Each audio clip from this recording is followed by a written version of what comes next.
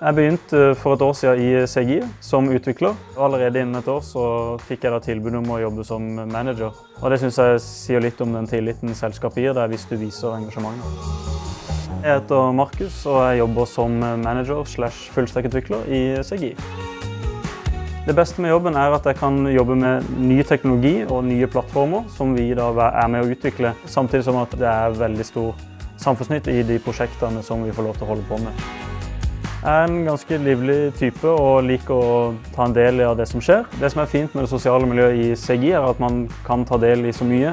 For så var jeg med på å starte opp Pedal-initiativet, og der er vi nå en god gruppe som spiller hver tirsdag.